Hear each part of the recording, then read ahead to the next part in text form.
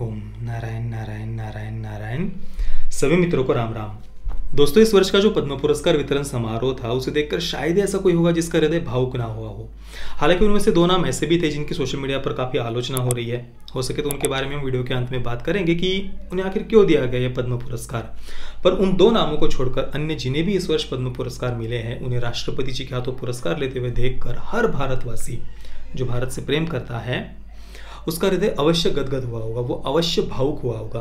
फिर वे चाहे फल बेचने वाले हरे कला हजप्पा जी हो, जिन्होंने अनपढ़ होते हुए भी स्कूल बनवाया, या तुलसी गावड़ा जी हो, जिन्हें वनस्पतियों के बारे में अथाह ज्ञान है, जो नंगे पाव अपनी पारंपरिक वेशभूषा में राष्ट्रपति जी से पुरस्कार लेने के लिए आई थी, या वुमेन्स हॉकी टीम की कप्तान रानी रामपाल जी हो, जो बहुत ही अधिक अत्यधिक गरीब परिवार से आती है, जिनके पिता हाथ गाड़ी खींचते थे काट पुलर थे। अब देखिए दोस्तों, मैं यहाँ पर सभी के नाम तो नहीं ले पाऊँगा, पर ऐसे ज़मीन से जुड़े हुए महान व्यक्तिमत्वों को जब पुरस्कार मिलता है ना तो उससे जिन्हें पुरस्कार मिला है, उनकी नहीं, उल्टा उस पुरस्कार की शोभा बढ़ जाती है, उस पुरस्कार की महिमा बढ़ जाती है, वो पुरस्कार अमूल्य हो जाता है। और इससे हम हमारी आने वाली जो जनरेशन से, उनके सामने कुछ आदर्श प्रस्तापित करते हैं। हम उन्हें ये सिखाते हैं कि कैसे हमारे समाज के बुज़ुर्गों ने बहुत ही गरीब परिवार में जन्म लेकर भी जिनके सामने जिनके पास कोई सुख सुविधाएँ नहीं थी कोई साधन संपत्ति नहीं थी, पर फिर भी कैसे इन कठिन, उन कठिन परिस्थितियों के बीच में भी उन्होंने कैसे समाज की सेवा की, कैसे पर्यावरण की सेवा की, कैसे देश की सेवा की, ये उच्च आदर्श हम हमारी आने वाली जनरेशन के सामने प्रस्तापित करते हैं। पर जब अयोग्य लोगों को पुरस्कार दिए जाते हैं, जैसे कि कुछ तथाकथित पर्यावरणवादी जो अपना, अपने पर्यावरण का प्रेम बस सोशल मीडिया पर दिखाते हैं ट्वीट्स करके पोस्ट करके, जिनका समाज की सेवा में, समाज में देश की सेवा में कोई भी योगदान नहीं होता, नगण्य योगदान होता है। पर बस अपने तथाकथित वोकिज्म के द्वारा लिबरलिज्म के द्वारा बस सोशल मीडिया पर ही जो समाज की सेवा करते हैं, ऐसे जो तथाकथित पर्यावरणवादी होते हैं, ऐसे जो वोक लिबरल्स होते हैं, उन्हें जब पुरस्कार दिए जाते हैं तो इससे हम हमारी आने वाली जनरेशन के सामने बहुत बहुत बड़ा गलत आदर्श प्रस्तापित करते हैं। और इसी कारण से अभी हम ये जो पद्म पुरस्कारों में बदलाव देख रहे हैं, ये बहुत बहुत मायने रखता है। श्रीमती तुलसी गौड़ा समाज सेवा पर्यावरण।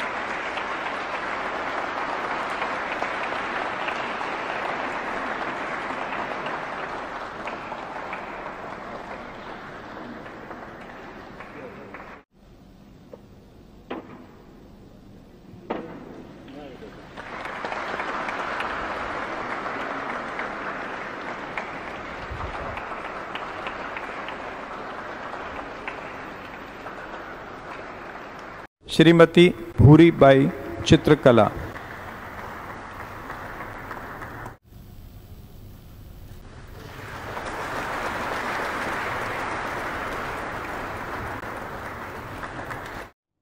श्रीमती रंगमाल उर्फ़ पपम माल कृषि।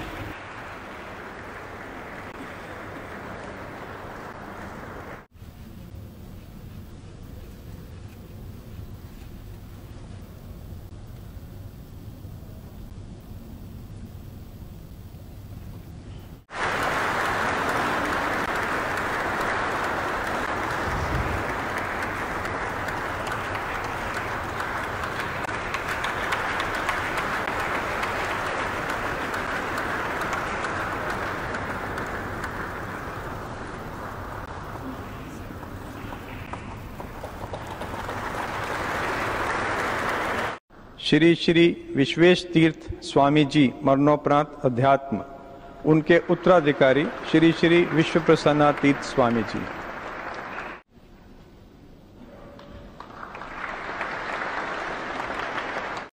श्रीमती पूर्णमासी जानी कला लोक गायन।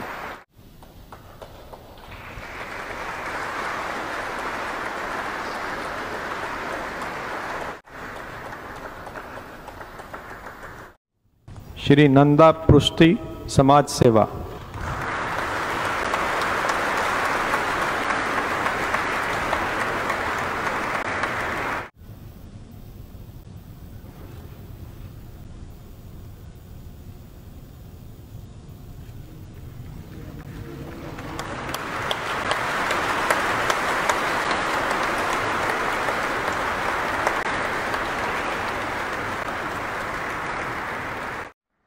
डॉक्टर उत्सव चरण दास, कला, लोक नृत्य।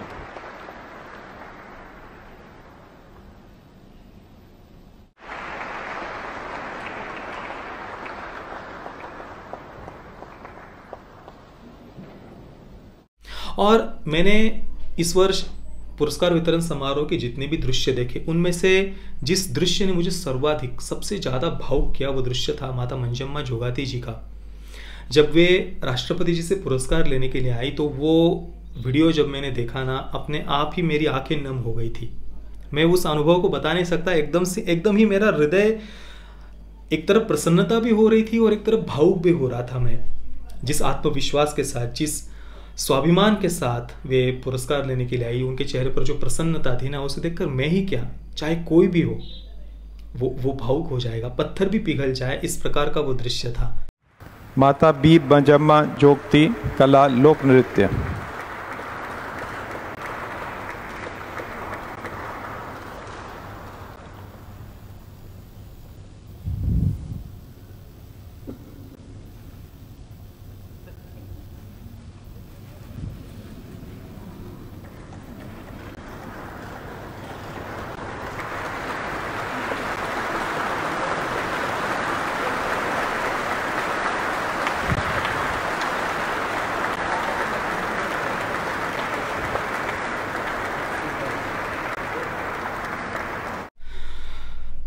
उन्होंने आते ही राष्ट्रपति जी की नज़र उतारी अपने साड़ी के पल्लू से। मतलब आप कल्पना कर सकते हैं, माता मंजम्मा जोगाती जी, जो एक बहुत ही प्राचीन जोगम्मा परंपरा लोक कला की लोक नर्तिका है, और आज कर्नाटका जनपद एकेडमी की वे किन्नर समाज से आने वाली पहली अध्यक्षा है। ऐसी माता मंजम्मा जोगाती जी, वे पुरस्कार लेने के लिए आई और उन्होंने सर्वप्रथम राष्ट्रपति जी की नज़र उतारी। हमारी सनातन संस्कृति की जो सहजता है, सरलता है, उसे देखकर सच में किसी का भी हृदय भावुक हो जाए, किसी की भी आँखों में पानी आ जाए, मुझे तो वो सीन देखकर एकदम से मेरी दादी, मेरी नानी की याद आ गई।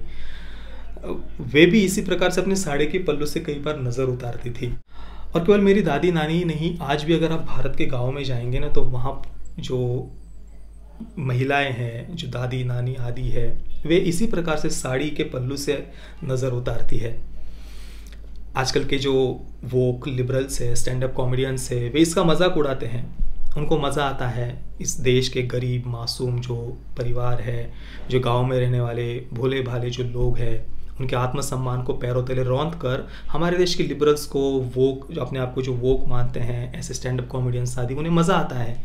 इस देश के मासूम भोले भाले लोगों के आत्मसम्मान को रौंद कर पैरों तले। पर उन लोगों की जो, ये जो परंपरा है, हमारे जो संस्कृति है, मुझे तो उस पर बहुत बहुत गर्व होता है। और देखिए ना, वे जब राष्ट्रपति जी की नज़र उतार रही थी, वो दृश्य ऐसा है जो आज से कई दशकों बाद भी जिसे याद रखा जाएगा। माता मंजम्मा जोगाती जी एक बहुत ही प्राचीन जोगम्मा लोक कला परंपरा से आती है, परंपरा की लोक नर्तिका है। और आज कर्नाटका जनपद एकेडमी की वे किन्नर समाज से आने वाली पहली अध्यक्षा है। और मैंने जब उनकी वो लोक कला के नृत्य भी कुछ देखे यूट्यूब पर तो सबसे पहले तो मुझे अपनी, हमारे महाराष्ट्र में जागरण की जो परंपरा है, भगवान खंडोपा जी की उपासना, आराधना के लिए जो वाघा मुरली के द्वारा जो जागरण की उपासना की जाती है जो एक लोक कला भी है, एक प्रकार से जागरण की महाराष्ट्र में। तो एकदम से मुझे उसकी याद आ गई। म्यूज़िक भी बिल्कुल वैसा ही था, जो पारंपरिक वाद्य है, वे भी मुझे वही पर, वही दिखाई दिए।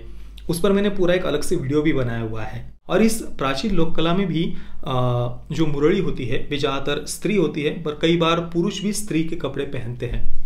आजकल आपने देखा होगा जो कथित रूप से वोक लिबरल्स एल की राइट्स की बात करते हैं, बड़े जेंडर न्यूट्रलिटी वगैरह की बातें करते हैं। इसमें जेंडर न्यूट्रलिटी के लिए पुरुष स्त्री के कपड़े वगैरह पहनते हैं क्रॉस ड्रेसिंग उसको कहा जाता है। एक ब्रिटेन के एक स्कूल में भी अभी हाल ही में हमने देखा कि लड़कों को ज़बरदस्ती स्कर्ट मिनी स्कर्ट पहनकर आने के लिए स्कूल में कहा गया था। तो ये जो कथित रूप से बस बाहरी दिखावे के लिए जेंडर न्यूट्रलिटी की बातें वगैरह करते हैं ना। ये ये बातें हमारे देश में कभी ना टबू रही है, ना ही कभी ये कोई बहुत, इसका कोई बहुत हवा रहा है हमारे देश में। ये बहुत ही आम बात, ये हमेशा से ही हमारी परंपरा का हिस्सा भी रहा है। और जो मुरणी जो पुरुष स्त्री के कपड़े पहनते हैं, मैंने जो वीडियो भी डाला हुआ था, उसमें भी एक पुरुष थे, वे उन्होंने ही स्त्री के कपड़े पहने थे उनके, उन्हें मुरड़ी कहा जाता है और उनका बहुत सम्मान किया जाता है। सभी आकर उनके पाँव छूते हैं। तो ये ये इस, ये कोई बहुत नई बात या कोई बहुत बड़ा हवा हमारी संस्कृति में कभी भी रहा ही नहीं है इन बातों का।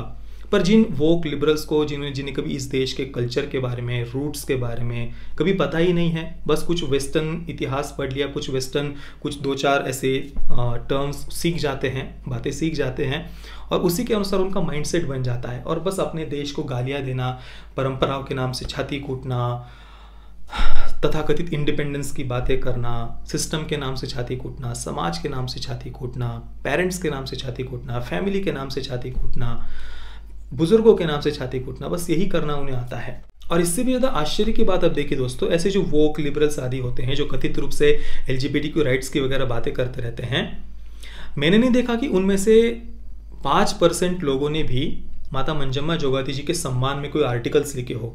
उनके सम्मान में कोई बड़े बड़े पोस्ट लिखे हो या उनके सम्मान में कोई, ट्रेंड वगैरह चलाया हो।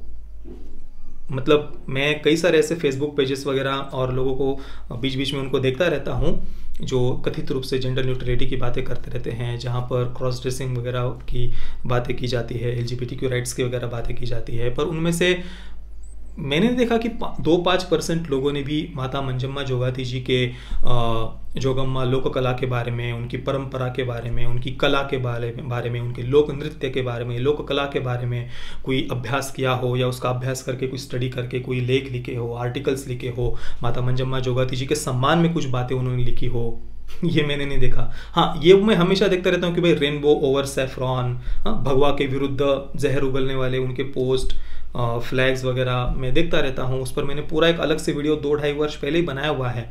ऑल टाइप्स ऑफ़ सेक्सुअलिटी इस पर मैंने पूरा अलग से वीडियो बनाया हुआ है। अगर आपको इस पूरे बात को समझना है ना, ये L G B T Q rights वगैरह के लिए ये क्यों आंदोलन वगैरह निकाले जाते हैं, इसके पीछे की पूरी मानसिकता को अगर आपको समझना है तो मेरा वो वीडियो अवश्य देखना।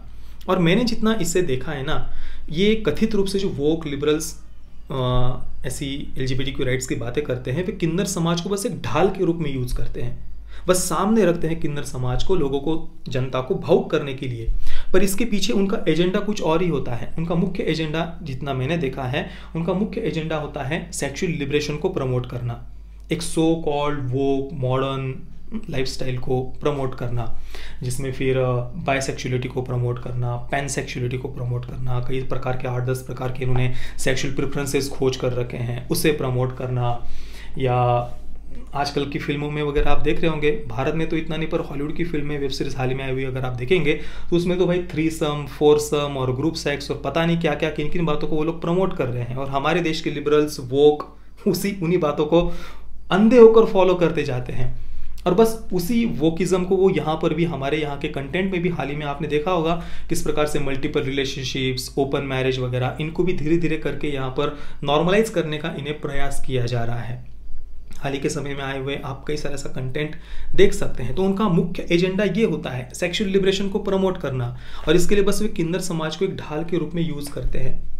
पर सच में जब उन्हें इस प्रकार के सम्मान मिलता है तो उनके बारे में, उनकी लोक कला के बारे में, भारत की संस्कृति के बारे में कोई स्टडी उन्होंने किया हो, कोई अभ्यास किया हो, उनके उत्थान के लिए उन्होंने कोई कार्य किया हो, ये हम नहीं देखते हैं। तो ऐसे वोक और लिबरल से भी मैं यहाँ पर यही कहना चाहता हूँ कि प्लीज़ आप अपनी काल्पनिक दुनिया से बाहर निकलिए और इस देश को समझिए, इस देश की सभ्यता को समझिए, संस्कृति को समझिए, यहाँ की परंपराओं को समझिए।